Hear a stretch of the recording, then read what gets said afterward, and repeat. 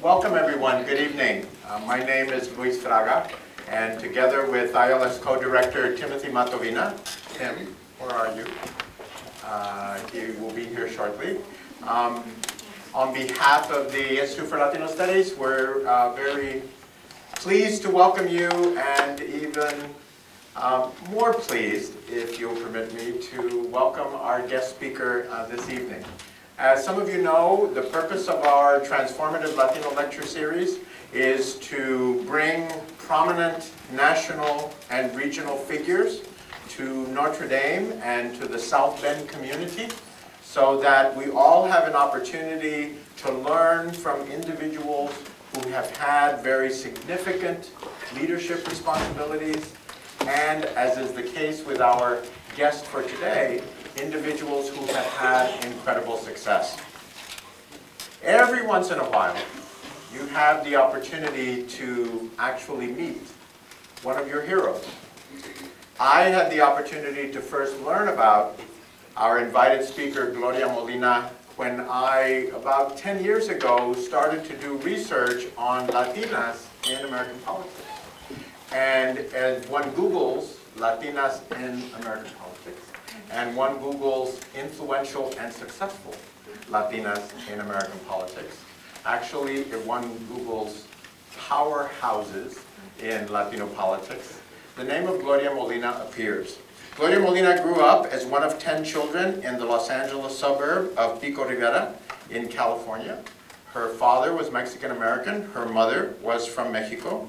She attended Rio Hondo College, East Los Angeles College, and California State University, Los Angeles. Ms. Molina is a person of firsts. She was the first Latina to ever be elected to the California State Assembly in 1982. She was the first Latina to ever be elected to the Los Angeles City Council in 1987. And in 1991, she was again the first Latina to ever be elected to the Los Angeles County Board of Supervisors. She is a person who has broken glass ceilings. She is a trailblazer to a very, very significant degree. Here at Notre Dame, we say that um, we are blessed. We're blessed to be part of a wonderful institution.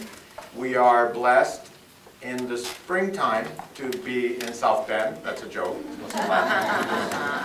um, but today, I feel especially blessed that we have Gloria Molina here with us.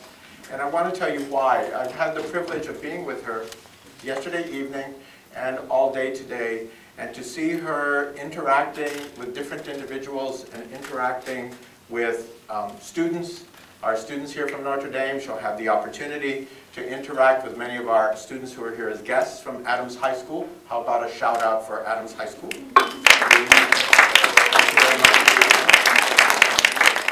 And I've seen why she's been so successful. She's successful because she listens.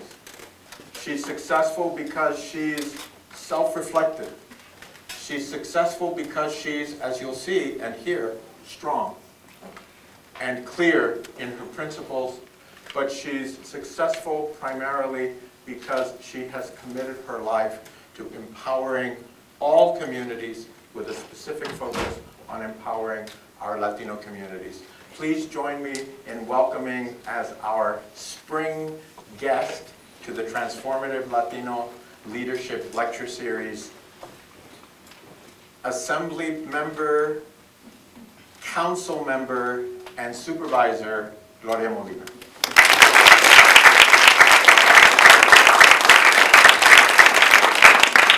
So the way we're going to do this is that I'm going to engage in conversation with, uh, with Ms. Molina. We're going to do that for about 40 minutes, and then there'll be a full 20 minutes at the end for questions, so get your questions ready um, so that she'll have an opportunity to interact with you. Gloria, is there anything you'd like to say at the beginning? Well, first of all, I've had a wonderful day. I've never been to Notre Dame. Uh, I've known Gil, and we talked about it from time to time. How are you doing in Notre Dame? Uh, so it's a fascinating. Uh, I've had a tour of the campus, and I've met with wonderful students. So I really have enjoyed my day. I thank you so much for it. A real good experience. Very positive. Great. Linda, could you tell us uh, about where you grew up? And what your neighborhood is like, and what your family life was like growing up? Well, I'm the oldest of 10, as was mentioned. Uh, My parents basically are from Mexico. My dad was born in Los Angeles, but he was sent to Casas Grandes, Chihuahua, where he was raised by, by his aunt and his uncle. And so I grew up in a very traditional Mexican household. My father did not want my mother to work, even though she probably could have, we would have benefited from the, from the salary that she might have been able to bring. And of course, she had to stay home and take care of all the rest of us. I was totally Spanish speaking as I entered school, um, which was a, a difficult thing, I think, for the teachers, not so much for myself. I, I got along and I just didn't need to talk to anyone for until about the third grade. I finally picked up some, some of my language skills. Um, But anyway, grew up in a very, very traditional household in a barrio that is called Simons, which is outside, right outside of East LA in, in Montebello, part of the Simons Brickyard uh, an old-fashioned company town, and it was about, everybody spoke Spanish, and all the neighbors, we all knew each other, and it was a small little barrio, until I went to school, then I realized, my God, it's a whole different uh, environment, uh, and so on. But anyway, uh, very traditional, my parents were just so grateful that I graduated from, from high school. Uh, My mother felt very strongly that, uh, that I should go to work right after high school to help the family financially. There was quite a quite a responsibility to that. So I didn't get to go through the traditional college route that many of you are going to get to enjoy, and hopefully many of you in high school will be a part of.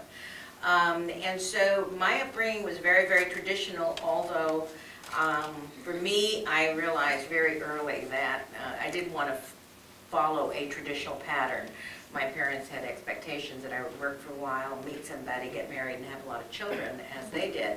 And that's not what I wanted to do. I felt very strongly about being strong and independent. Uh, I get that from my grandmother. Um, and so, uh, but somehow there was just an interest in working in the community, working on issues. So, of course, I had to make a living, and, and I worked as a legal secretary for a number of years. And um, I was telling the students earlier that, well, I had an opportunity to work in the White House. I worked at the Carter White House.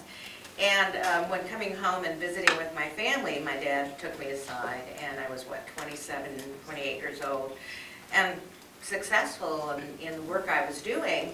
And he sat me down and had a very serious discussion and was very concerned that I should get married uh, that, you know, it's time and you're going to be a 30-year-old very soon, and you're not married.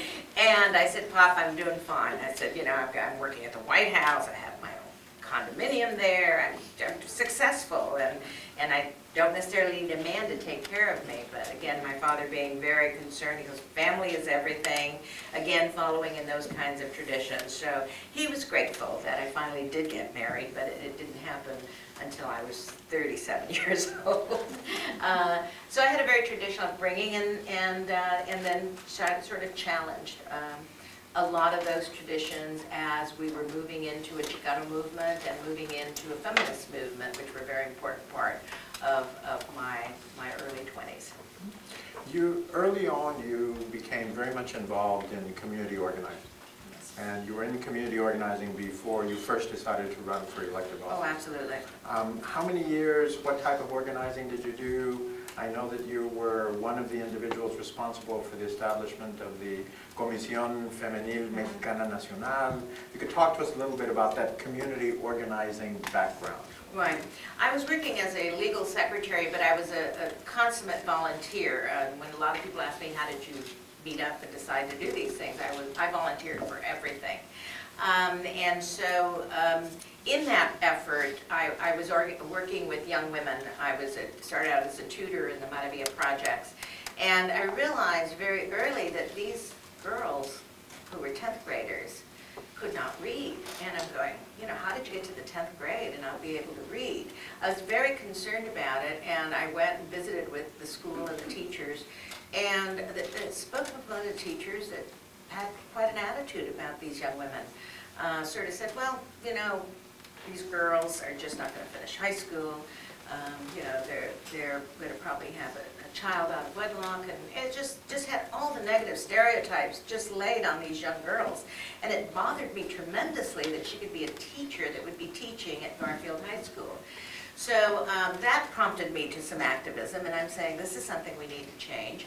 And of course, while I was going, even though I was going to school at night, as I mentioned to people, I um, joined as an activist. I we belonged to the student organization. Before it was called MECHA, it was called MASA, the Mexican American Student Association. And we were activists there, not a, not a leader, but a follower. So, uh, you know, I was accustomed to, I wanted to get involved in many of those issues. But it was, what really concerned me at the time was that in the Chicano movement, which was very important to me, and we were, in, we were also involved in the war against Vietnam, and because the Chicanos were being sent to the front lines. By the way, I use Chicano, I'm very proud Chicana, but I use Hispanic, Latina, so you'll get accustomed to, I, I drop all of these, these things as far as identity, but I consider myself a Chicana. Part of the Chicana movement was a very sexist movement. Uh, the women were relegated to making the menudo for fundraising, and we were relegated to, at that time, mimeographing all of the posters and everything that we used to pass out. And then, but there was also the feminist movement was starting up at that time. And I attended a lot of the consciousness raising discussions that feminists were having on the other side of town.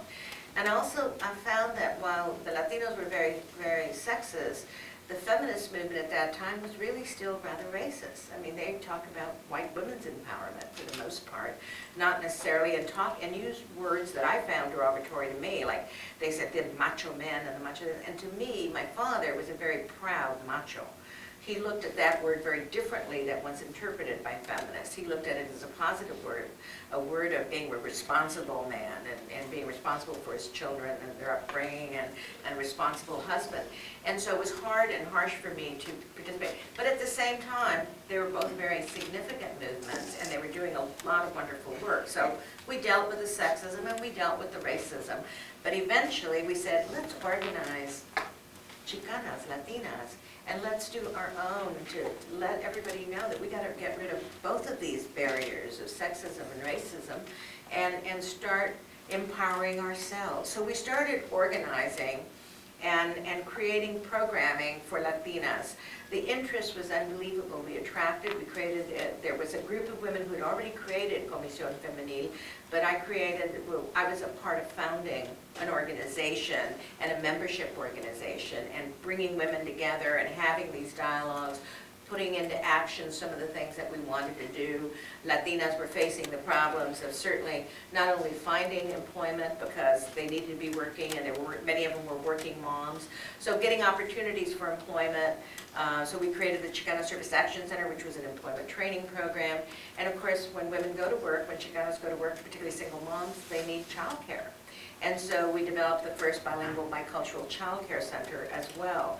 The supportive services that women needed in order to really meet the economic needs of their families. So we started organizing, was very involved in that, and it's something I did. Eventually it became political organizing, voter registration organizing, and before you knew it, we were volunteers all over, and really trying to engage our community to have, to be involved in, in, in voting and to start making change and making positive change.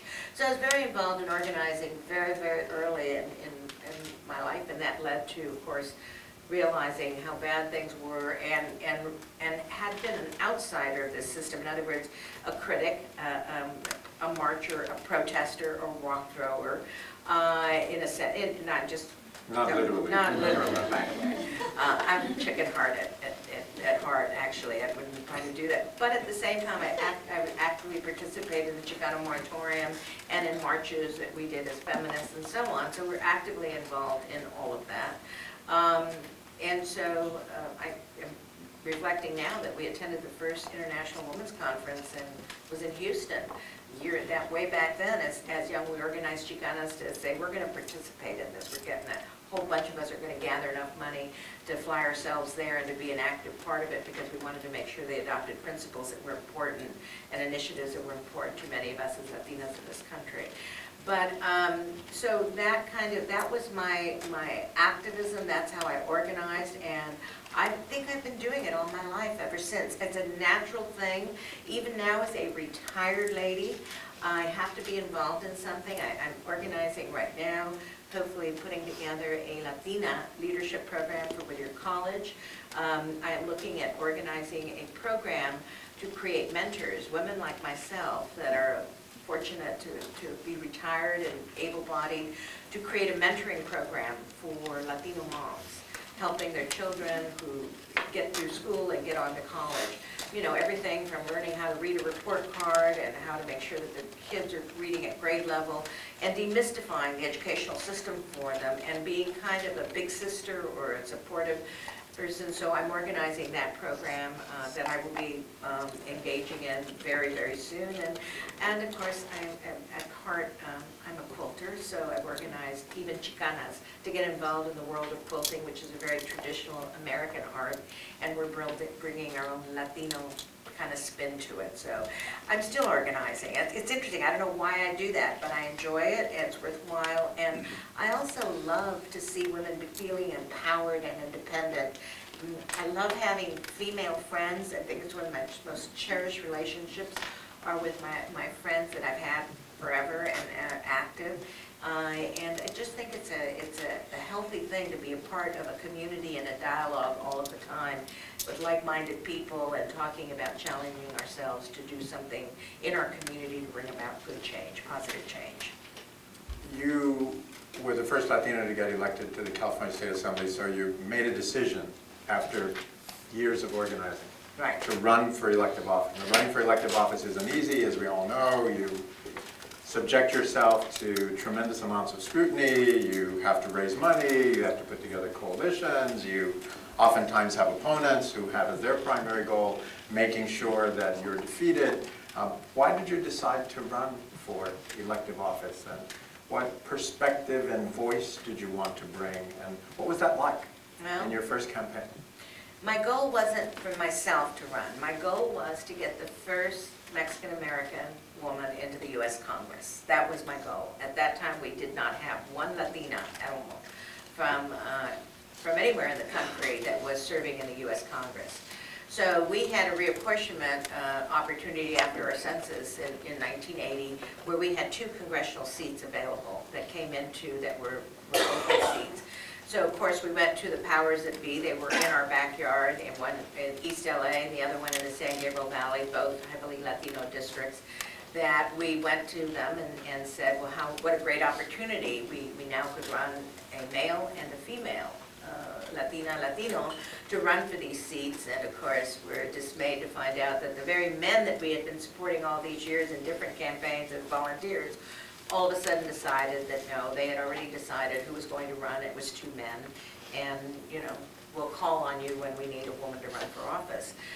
At that time, it was very discouraging because we had been supportive of them. We had been gathering and been volunteers in their campaigns, and, and uh, we were very effective in recruiting volunteers, that we thought there would be kind of a mutual support by now, but lo and behold, sexism continued to flare up in our own community.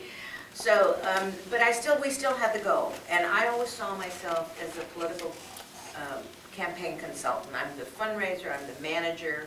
Um, As people who know me, they know that sometimes I'm not politically correct enough to be a politician. I, I have strong opinions. Sometimes I'm not politically correct in what I say and do. And so I didn't think I would be the best candidate. And so I went looking for a candidate, and at the end of the day, um, Art Torres, who was, a- who at that time was going to run for the Senate seat, said, no, I only will go if you, I can support you. The guys have already decided who their candidate is, and I'll only support you, no one else. So I was able to, to at that time, we went back and said, you know, I'm, I'm not sure I'm the right person to run, but even as we went out and looked for other Latina, particularly lawyers, who we thought had the credentials to run for that seat, they too were nervous about running. They said, no, the guys are never gonna let us run, and they're gonna beat us, and uh, we're not gonna, you know, go out there and, and take such a risk. So I decided to run for that seat at that time, and, and uh, we put together a campaign. I- I'm not to say we put a campaign together, to- we wanted to win. But most important thing to us is that we wanted a good, effective campaign. We needed to show the men in the community that we were capable of organizing, that we had the opportunity to raise money, that we could get the support in the community, that we could do these things. And we knew it was an uphill battle because they had everything going for them. And, and we were going to be a totally volunteer, not have as much money, not have the endorsements, not have the natural kind of support that one would have. And, uh, but we outworked them. We had more volunteers that they'd hit, so we didn't need as much money as they, as they had. Uh, So we were able to, to do it. I walked the district one and one half time, talking to voters. A lot of skeptics saying, I'm not gonna support you, you're, you're a woman, they're not gonna take you seriously. Sexism was rampant throughout. Nobody trusted many of us in these positions. Not that women weren't elected, but a Chicana had never been elected, or Latina had not been elected. So we had a lot of work to convince our community, and so I ended up um, winning that seat in 1982. I ran against their candidate, and, uh, and uh, we beat him. Um, Made a lot of people unhappy, because I joined the legislature. Of course, all of the members of the legislature, except many of the women there, had supported my, my, my uh, opposition as compared to myself. So I wasn't really welcomed the first day I got there, but I ended up having a great um, building a great coalition of, of people and doing some good things when I was in the legislature. And I've enjoyed being elected, still not politically correct all the time, not a great, even had a problem using the word politician. It's always been such a negative term for me. That, but I'm now comfortable with it because I think I've served it well and, and have done a good job. And, and I'm proud of the work and the contribution I've made. Did you face any gender-related challenges, challenges as a woman when you were in the state assembly? Every day, ongoing, all the time. Um, I was telling the students earlier that on one of the first days that I arrived, my colleague, who's a wonderful gentleman who went on to serve in Congress, he was my, not my seatmate, but he sat right behind me, and he welcomed me and he said, how great to have you here. You now, we have somebody who's going to be involved in bilingual education and childcare. And I thought, I've been already stereotyped and relegated to my corner. I mean, you know, I'm interested in other issues and so on. And uh, it's interesting, I told him about a year later, when I finally had the courage to say to him how offensive that remark was and how it, it was, you know, been very racist and very sexist because I came here and I had equal standing with him and I was had an opportunity to participate in a whole range of issues and, and be, I was not going to accept being relegated to this corner. Not that bilingual education and childcare were not important to me, but I was going to allow him to stereotype me and put me in that corner. And so it happened all of the time. There were constant, and it still happens today. It, it's not over. It just isn't over. Uh, But you can't walk around with a chip on your shoulder uh, because there is still sexism and racism that exists, and it's displayed in different um, manners and ways. So even as an elected official, uh, I have been challenged in that regard. And, and like I said, you have to pick your fights. You, you cannot, and you can't dwell on it. You can't walk around and say, oh, you know, I can't do anything because they discriminate against me or that. I leave that all behind. I'm not going to allow anyone to intimidate me or put me in my place. I got elected. I have equal footing with my colleagues. They may not think so, but I challenge them on a regular basis all of the time. I have to work twice as hard to be equal, I say, but that's okay. I'm, I'm prepared for it, and that's what I've been doing. And it has led to my having the kind of opportunities that I had. And the other part of it is, being a first is a responsibility and a duty to your community. And for women and for Latinos and for Latinas. When you're the first, you have to set the example, which is what my mother said to me. And, uh, and so, you know, people are watching you, and, and they're wanting to know if you're going to be effective or not. And if you're not effective, you're not going to be able to open that door for others uh, in a way that you need to do. So people look to you to, um, to see what you're doing and how capable you are. So I was being challenged all of the time. It was a brand new experience for me, being up there and being a policymaker. But at the end of the day, it was a very important role and a- an important duty and responsibility um, in serving as a legislator. But dealing with sexism and racism is part of the norm. When you're in politics, you often have to make compromises and see what kind of deals you can cut. Would you tell us the story that you shared with a number of us earlier about the time that you worked in the California State Legislature to get uh, legislation enacted that dealt with dropouts? And how that intersected with the desire of other people in the California State Legislature to uh, establish a prison Right. in your district and how that circumstance worked out? One of the priorities when I joined the legislature, when you think about, you know, here I am going to have an opportunity to write legislation and to change, what did I want to change? I really wanted to change um, high school dropout rates for, for Latinos and for all kids. And so I did some study bills, we worked on some issues, we did a lot of research, and I put together about 10 legislative bills that were um, focused on making the schools much more accountable to graduating all of their students. Uh, They sort of tossed it around, everybody accepted the fact that so many kids dropped out, and that was their problem, and that was their parents' problem, not the school's problem. So I did an awful lot of legislation, a lot of work, working with the college, with the junior colleges, and things of that sort. Anyway, to get kids to at least a baseline of education, which was high school diploma.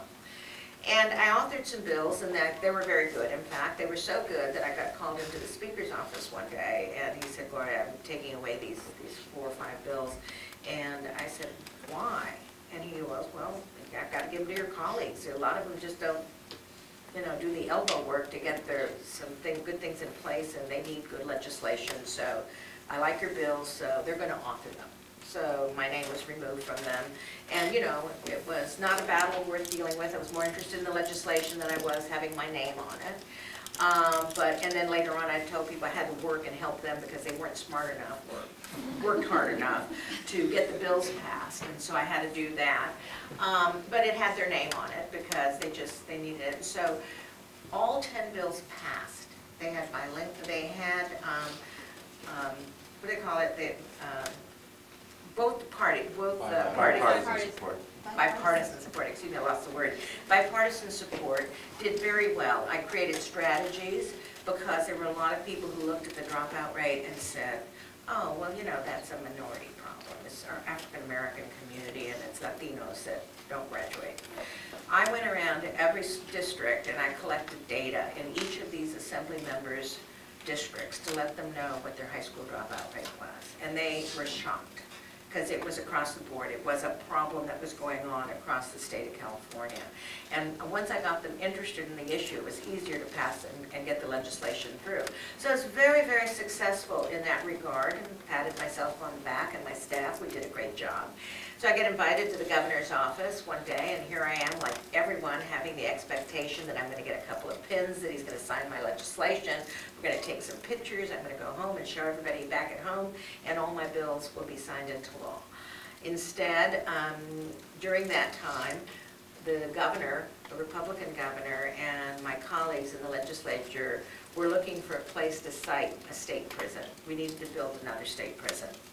So I guess they had looked at it and concluded that why not Gloria Molina's district? You know, it's got the lowest voters registration and, you know, and so on. Um, and They said a couple of insulting things, I'm sure. They told me later that, you know, it'd be close for, for their neighborhood to visit their loved ones.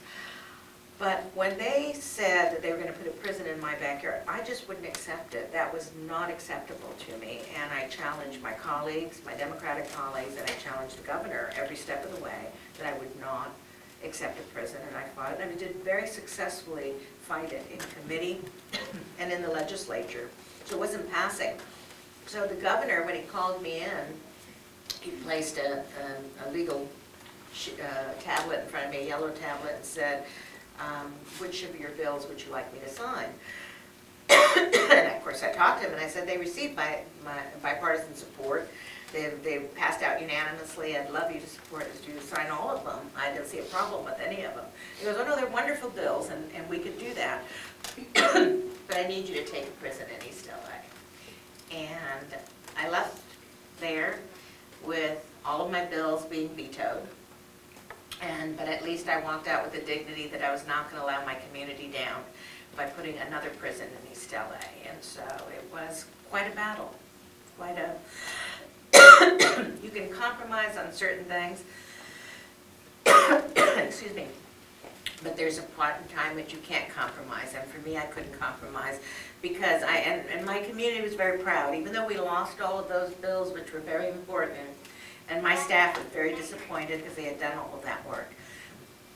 But you have to be true to yourself and true to the interest of your community. And uh, we were just not going to accept a prison in East LA. We didn't need another negative project like that. Nobody wanted it in their district, and I just wasn't going to allow them to make a decision without even asking uh, to put it in my district. And even if they would have asked, I wouldn't have accepted. So that was my battle then. It taught, I learned an awful lot from it. It was a real struggle. Um, But at the end of the day, we won. Uh, They continued to pursue it. They not only vetoed my legislation, they worked very hard at trying to get the votes to put a prison in East LA. Um, And every so often, they would beat me, and then I'd find a way to fight back and and uh, kick it back. And today, I'm very proud that in East Los Angeles, we do not have a state prison even today, 20, 30 years later. So I'm proud of that. So you served in three different levels of government, right? The state assembly, and then the city council, and the county board of supervisors. Which one, in which one did you think you had the greatest impact? And which one provided you with a type of work and a set of issues that you found most interesting? Well, certainly in the legislature was very interesting, and being the first there was very important, and setting the example was very important. But, you know, you're a policymaker, you, you pass legislation, you don't get involved in implementing legislation, you don't even get involved in overseeing legislation. Every year, there's a cycle, you're introducing bills, you're being lobbied, and so on. And it was a great experience, I'm not gonna deny it, it was a first for me. Um, But when there was an opportunity to run for the city council, again, a tough one because the guys organized a campaign against me and I ran one of their, against one of their, the male uh, candidate that they had. We, of course, were in a better position. Uh, You know, they don't learn. I don't know why, they're so stubborn, they just don't learn. And uh, so I ran for the city council. And it was really interesting because I love being home and being close to people and being in touch with constituents and getting to listen to people. Uh, But the issues were not as interesting. You- You're dealing with, you know, land use issues and some issues in dealing with, with the police and things of that sort. And so there was interesting issues. I got involved in affordable housing because at least that was a policy goal that I had and got involved in that. And I served there for a while. But then certainly when I had an opportunity to run, by the way, I didn't just get anointed at that time either. I ran against 11 other candidates, but I had built a good reputation in my district and had a good grassroots uh, campaign still, volunteers and so on. I ran against 11 others, and when I was elected in 1991, after a fierce battle uh, that MALDEF had undertaken to get, to carve out a district that would have an opportunity district, that is for a group of Latinos to come together, because there'd been a lot of dis- political discrimination, so that we didn't even have an opportunity to run for that seat. Uh, I was, I was elected, and that by far was the most interesting opportunity that I had, because it dealt with everything that I enjoy. Not only do you get to legislate, but you're also an executive, so you're managing and monitoring the departments as you get to see those policies implemented. And then, of course, you're responsible for the budgeting of those issues, those things. So you have to have the money to run those programs and to create and, and to follow through on it. You don't just legislate, put it on the books and, hey, somebody else figure out how, how to implement it. So I love the range of issues, and I got to work on children's issues and mental health issues that were important to me, healthcare, still dealing with, with security issues, the sheriff, quality of life issues that were important, but even libraries and parks that are important and very dear to me, because that was, certainly when I was growing up, that was where I studied and, and where I got to play. When you're an uh, oldest of 10, and there's a lot of people in your home, you don't have a, a whole lot of play area, you don't have places you can study. So uh, libraries and, and parks have always been very, very unique and special to me. So that, I love working as a board of supervisors, and I would love to have continued, but at the same time, they did have term, they introduced term limits, and so that I ran out of time, and, um, uh, but that's okay as well. Um, I needed to move on, and we needed to bring new leadership to, to those positions. So your career and your life was driven in part by trying to bring a woman's voice mm-hmm. to the political process. Yes. Do Latinas make better elected officials than Latinos? And if so, why? In my opinion, of course they. Let me tell you why. I think that, that men in our community are brought up so much differently than women in our community. And um, I think that we bring a, a, a part of us that is different. The men in our community are brought up to be the macho man, okay, the responsible man and so on. But, but again, have, there's still a lot of sexism that goes on and they operate very singularly. I am the legislator, I am the elected official. Women operate with the we, and much more inclusive, much more bringing people together, much more of a collaborative kind of thing, like, like a mom, like a family coming together. Um, So we bring that, we bring a, a cultural advantage that I think is, is significant as you legislate, as you build coalitions. Uh, So we're much more effective at it. I'm not going to say that that's true across the board, I'm just saying as generalities. Not as much ego, in fact, sometimes we have to really kick women to have a little bit more ego, because sometimes it's important to say, I did this, I, you know, I was a part of that, and we have a tendency to be, to take a back seat to some of that. Um, So that we bring a really unique perspective to, um, to the political process that I think is a welcomed one. Uh, When I look at the statistics and, and what's going on in this country, uh, that's why I was so welcome to come here, and I was very interested when Professor Fraga invited me here, because this issue of leadership is so significantly important to all of us, not just the Latino community, but to all of us. The reality of the Latino demographics, as you play them out and project them into the future, there are various scenarios that can operate. We are certainly going to be the majority population, and, you know, in 50 years, one in three will be Latino uh, in this country. And so we're going to play a very significant role. And the worst thing that could happen is that we are not prepared for the potential of leadership positions that we're going to have to take on and be responsible for. So we need to prepare ourselves for those leadership duties and responsibilities that we undertake. And I'm not, we're not talking about, and so I think that the power that we have, uh, once you're elected, is a very, very significant thing. And you have to be so careful with power. Um, You can misuse power, as we're seeing in some places, Congress and White House. Uh, and That scares me. Uh, And so you have to be, you have to nurture it, you have to take care of it, you have to be careful with power, you have to use it well. Uh, And so I think women bring that, bring something different. It isn't just about así nomás, you know, it's about thinking it out and working it out. And women have a different approach, and I found that to be across the board. Now, I'm not saying that we- some of us are just not in your face, we do things, we do, including myself. But I do think we bring a different perspective. I started out with the feeling that women had to be at the table making these decisions and on an equal footing with men.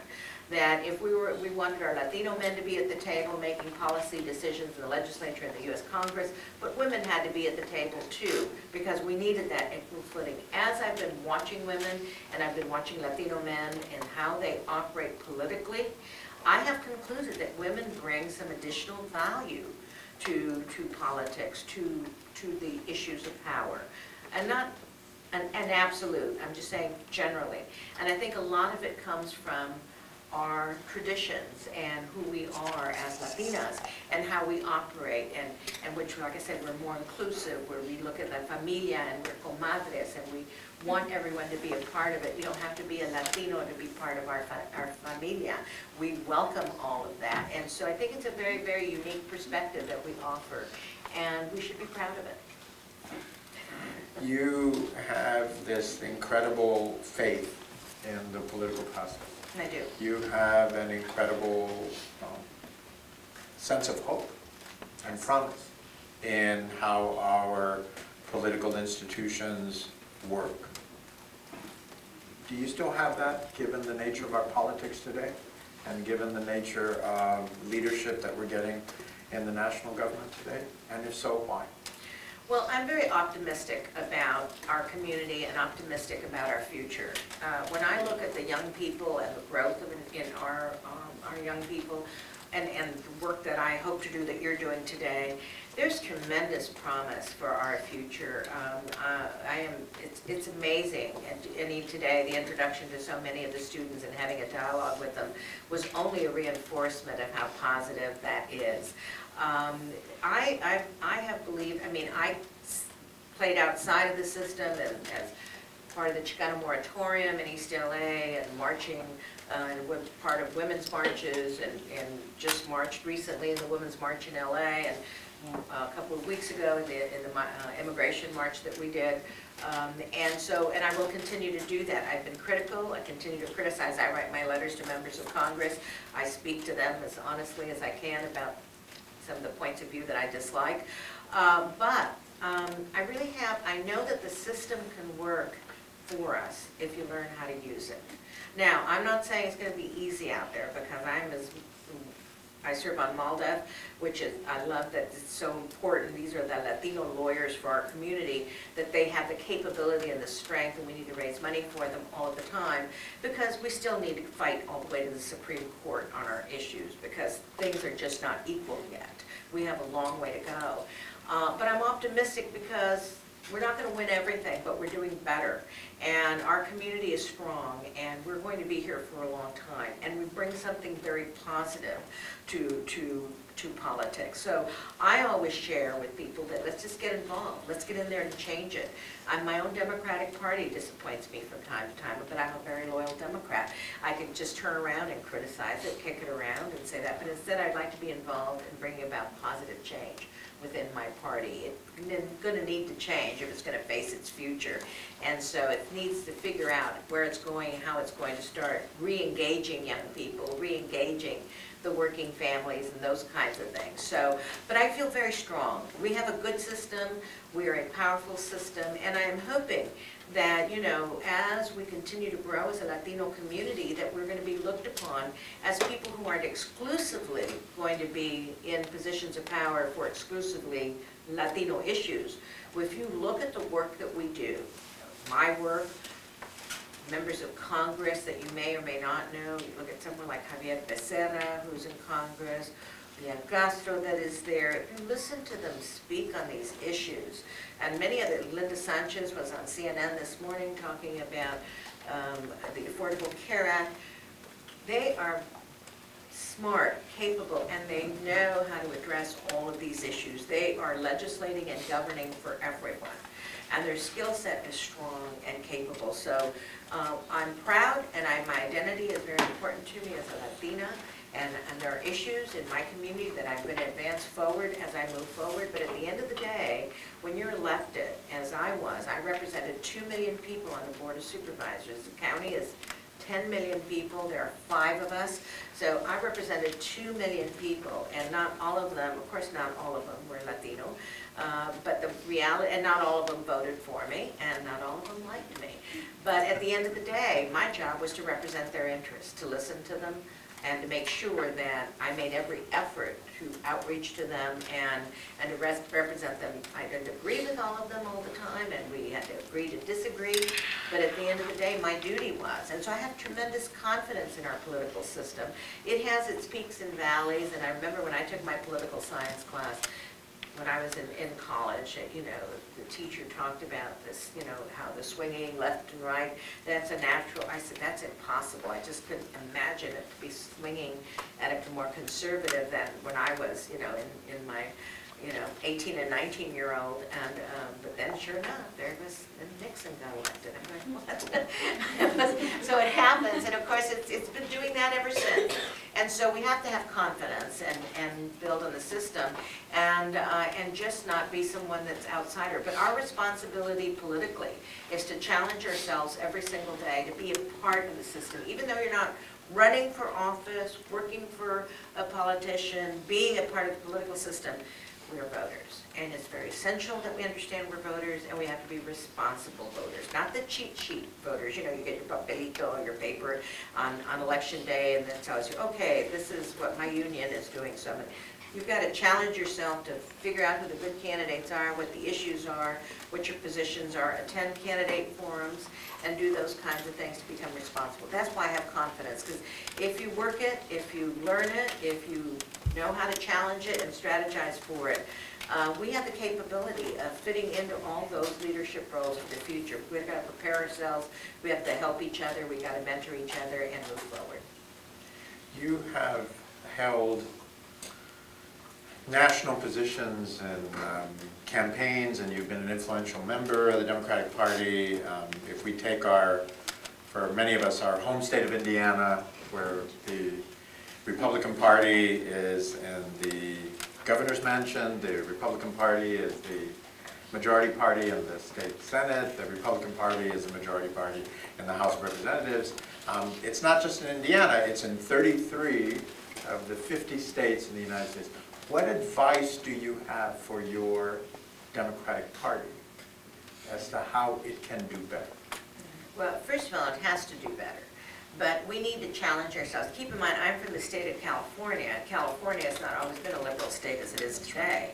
I mean, this is a state that passed 187. 187 was a measure that was totally anti-immigrant, uh, where they were going to allow ICE to go into our schools, they were going to deputize, um, you know, social workers, they were going to deputize um, um, teachers, that everybody was going to be looking out for illegals and, and reporting them. Um, And it passed in the state of California.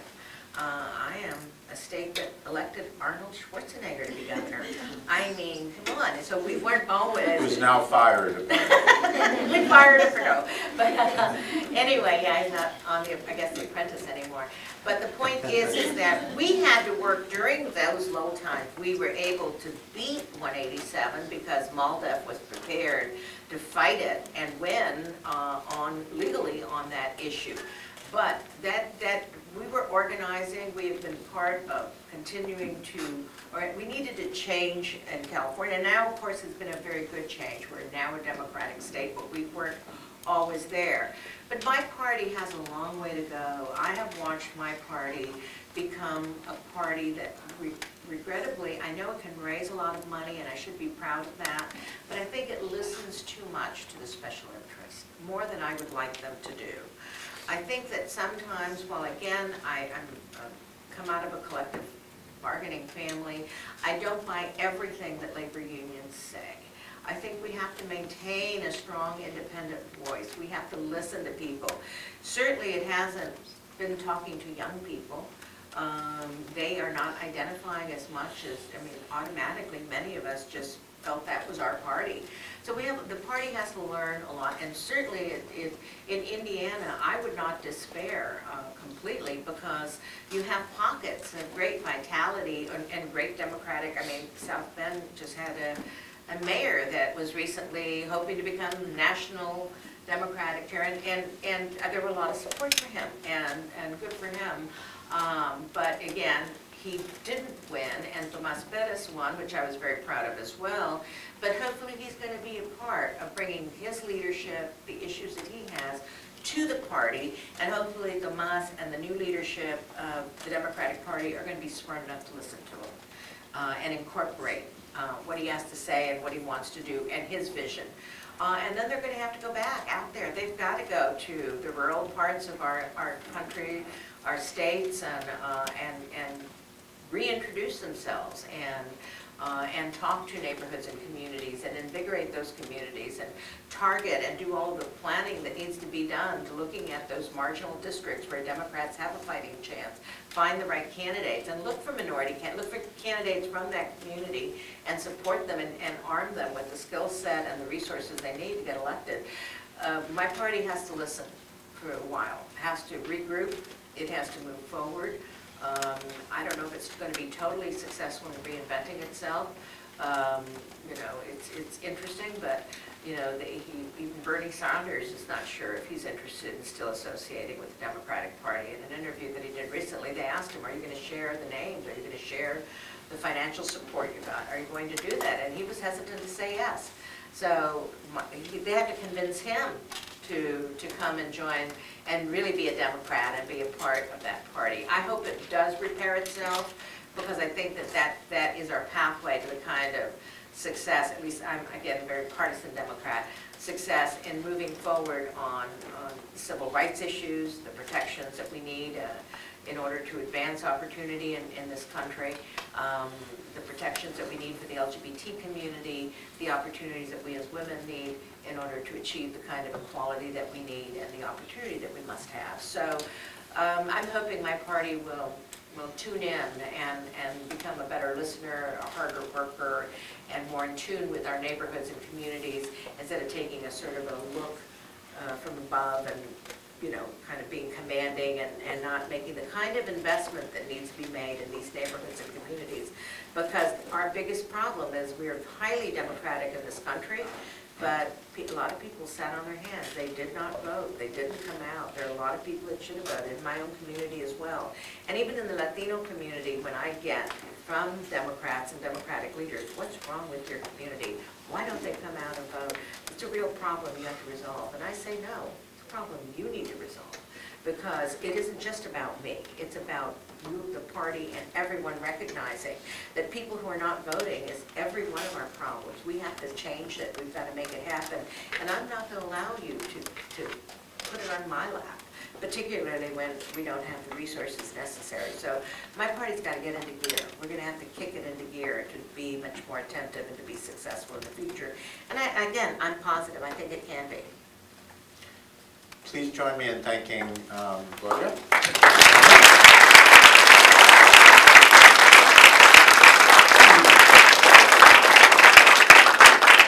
Now we want to open it to questions from the audience. If you would uh, raise your hand, uh, maybe stand up if you can, uh, give your name, and then if you could um, pose a question.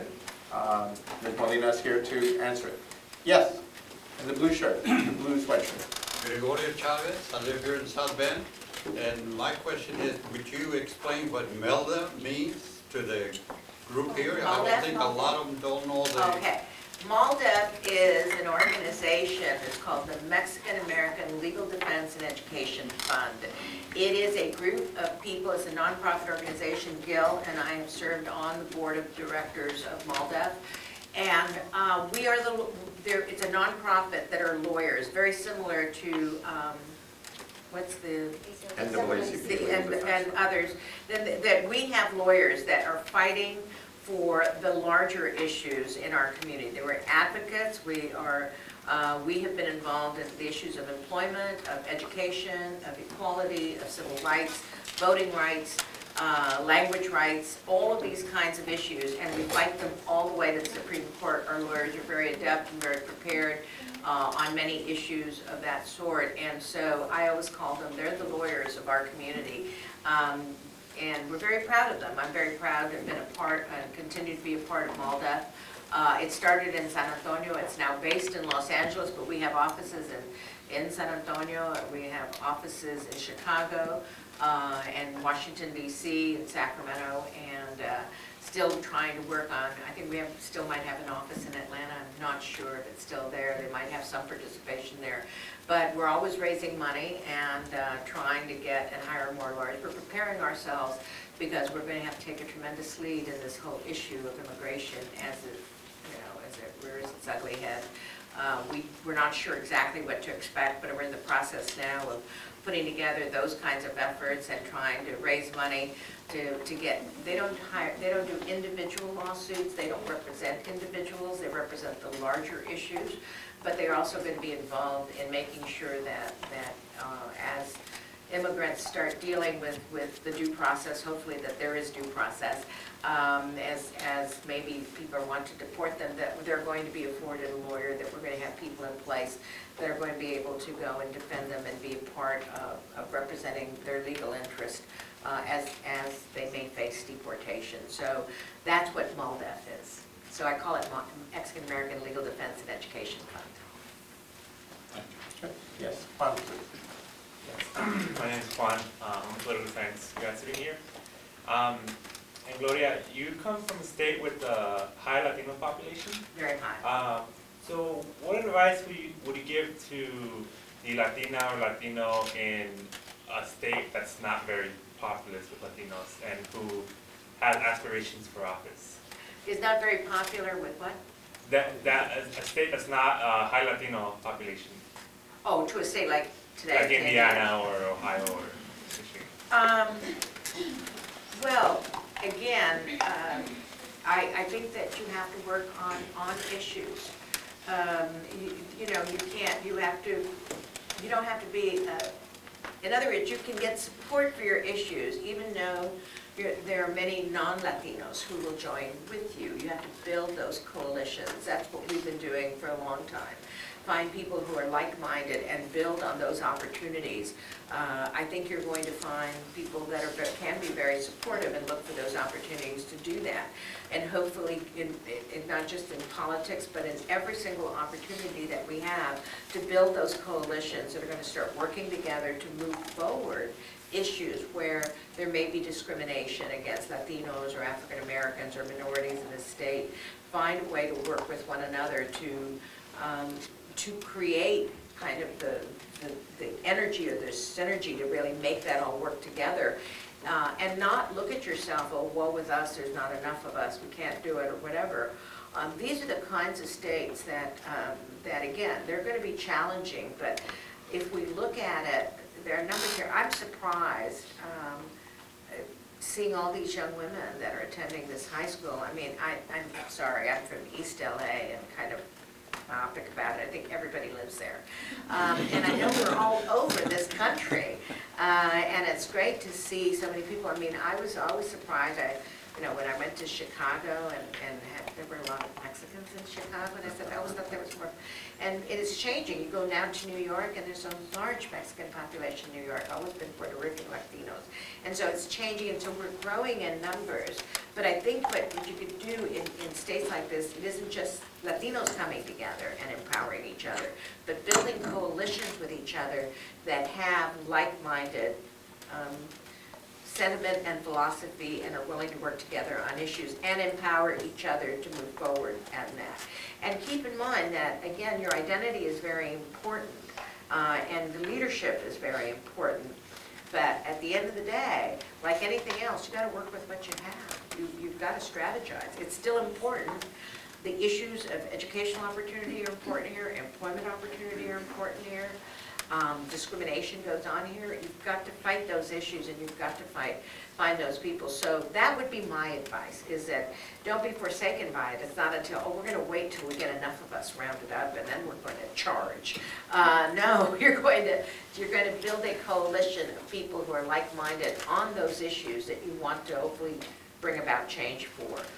And, and not to despair, because you're gonna find that there are many people who are like-minded, who are willing to do that, and eventually some of the things will start changing here. Um, But it'll be good to see those faces. I always have believed very strongly that we really have to do a lot of positive affirmative action in every single way. We, as Latinos, need to have those positive affirmations that are out there, that we see people in positions of power, because that way it's attainable, you know? Somebody has to break through, you know, when we see um, Supreme Court Justice Sotomayor, that is an empowering feeling. When we see the the Castro brothers that are so powerful in, in, in DC, and one is in Congress and one was the head of HUD, that's, that's very, that's very important. Or when we see, you know, even in entertainment, you know, folks that are moving up and doing well, all of these kinds of things are positive affirmations. It assists us in, in the self-confidence that we should have, that we're in positions that we can do all of these kinds of things. And so we do need to promote each other in that regard, because those are positive affirmations that we need. And even people like myself need to be reminded that we are capable of doing everything, anything want to do. And it's great to come here to the Midwest, to this university, and see so many Latinos and Latinas, and to see as professors, and and to see so many, and, and tackling this issue of Latino leadership. It's significant, and it's very impressive to me. So do not despair that there's not enough of you yet. There are like-minded people that are going to move forward many of those issues. Thank you. Another question? Yes? Pete, please. Uh, Thank you very much for. Certainly. So you talked a little bit about the future of the Democratic Party, and we saw the split uh, during the last election between the Senator Sanders camp as well as the um, Secretary Clinton camp.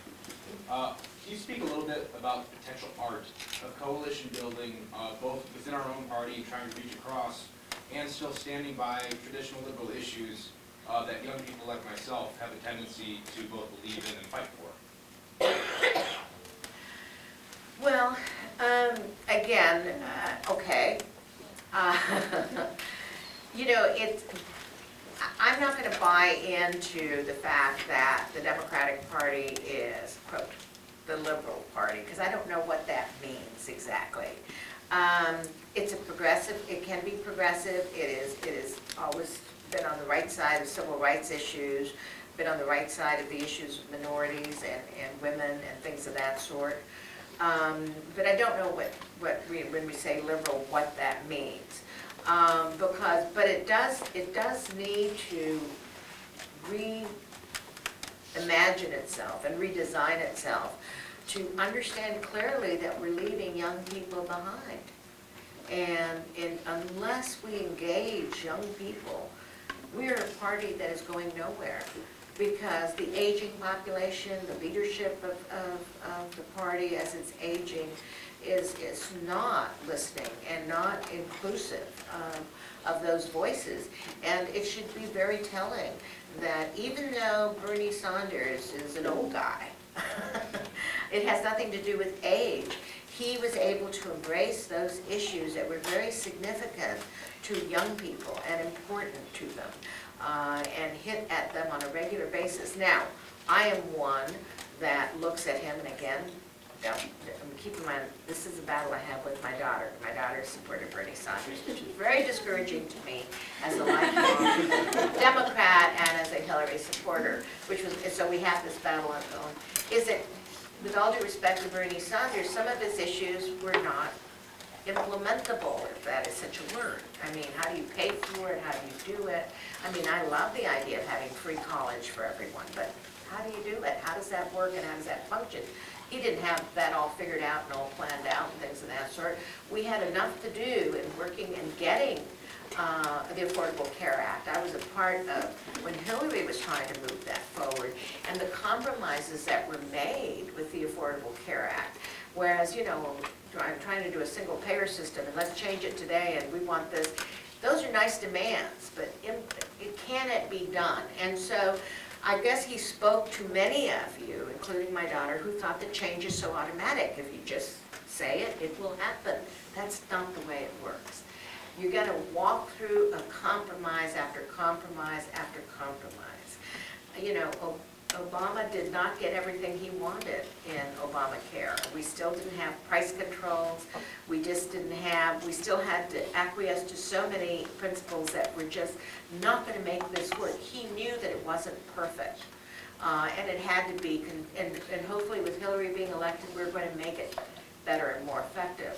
So, um, the issue is, is that my party has to become and, and listen to young people and find a way to encourage them to be a part of the core of the party, thinking out the vision. I'm not saying that those progressive ideas are not, but they have to work and they have to function. You can't be against Wall Street completely, you know, you've got to find out how to regulate, how to maintain it, how to, it isn't just taking those positions. But I do think that, that we have, I mean, there were mistakes that were made in the campaign, very clearly, obviously. Uh, there were a lot of things as the campaign was rounding itself up that even I had concerns about and issues about. I think it, it's wedded too much to special interest. It spends too much time thinking, we've got to raise money, we've got to raise money, and not getting back into their grassroots approach, engaging communities and participating on a local level. Uh, So it's got a long ways to go. But I'm not going to say that, that as young people who want these liberal issues, and I don't know what that is, it's not until you get into the thick of dialoguing with the opposition party and trying to get something passed and legislate those things, the compromises that need to be made are tough. Trying to figure out how to finance things is even harder. Trying to implement legislative changes are very, very difficult in a very stubborn bureaucracy. So things, just because you want them to be, are not going to be. And those are the lessons learned. And certainly as a young person, I was much more idealistic. I, I, I didn't lose all of it, but I, I learned along the way uh, that you've got to govern. And so I, I tell people, I'm a progressive uh, when it comes to, to um, social issues, I'm very, very progressive. But as, as, uh, as someone who's been involved in government, I'm a fiscal conservative. I am the biggest tightwad. I'm anti-tax, I really am. Uh, I, I am really concerned about how we spend our money. how we don't monitor how we, the accountability for our money. And I don't wanna just create programs that just, we can't figure out how to pay for them down the line. Um, I, I was criticized by labor unions because they wanted a very generous pension plan. I took it and I mapped it out financially for the next fifty years, and I'm going, you're gonna break us in the county, we cannot do this. And they said, oh, come on, Gloria, we want this, we work for this and all of this, and you've gotta treat, you know, our retirees, so on. And I am one of the few, and I fought hard in my county. Um, there's something called three percent at fifty. Um, it's hard to find that you could, you, well, anyway, it's a very generous retirement program that my county did not accept. And I was the lone person, I even had conservative members and one of the liberal members supporting it. And I said, I'm gonna campaign on this issue because you're gonna bankrupt the county of LA. Today, you look at places like Stockton, like Orange County, like places like Huntington Park that pass these things, they have over seventy percent of their general fund budget paying for pensions. That means that they are not raising enough money in, in to, to maintain it. So we have to be, we have to watch those things. We have to be careful. So that's what I'm saying, you can be liberal on, on various issues, but you've got to make things work. If Bernie Sanders would have been elected, I would like to have seen how he was going to pay for free education, college education very much. He never did talk about that part of it. Oh, don't worry, we're going to work those things out. Uh, You know, a single payer, oh, don't worry, we're, we're going to, we're going to work those out. I didn't buy it. Um, Hillary was, of course, too detailed. I mean, I remember, you know, explaining too much. Uh, But she was a powerhouse in those debates. She knew what she was talking about because she's been involved in governing and responsible kinds of things. But, I mean, I'm kind of biased because I really think highly of her as a policymaker. Is going to have to get, find a way to reach out to you, liberal ideas, young, and get you involved enough so that you're going to learn how tough it all is, that it is idealistic. I'm not saying you lose your ideals and your vision, but you've got, you've got to be pragmatic. You've got to be practical as to how to succeed. Uh, It's just like, you know, Obama could have been, President Obama could have introduced, and Hillary did try, by the way, to introduce, this is what we want in a health care bill, doing all of these things. Well, not everybody was buying it, even conservative Democrats were not buying it, so they had to compromise all along the way. The package is not as perfect, and we knew that from day one, hoping to perfect it down the line. Um, But if you look at it, what's so interesting about what, what happened then, who would have thought 10 years ago, or 15 years ago, that today we would be talking about how to preserve and protect health care for everyone? That was sort of an unknown, and many of us who've been around for all of these years. So those elements, those idealistic kind of things are really positive things. So today, you know, he's saying repeal uh, Obamacare and replace, but at least they're saying replace. The problem is they don't know what to do because it's the best they're gonna get in this compromise. And it, yet, it's not perfect. It doesn't meet everyone's needs. We have a long way to go.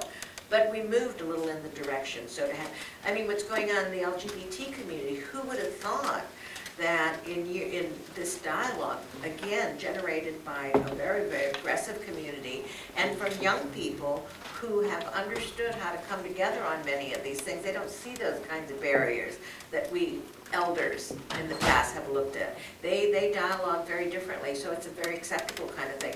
Those are the good things that are going on.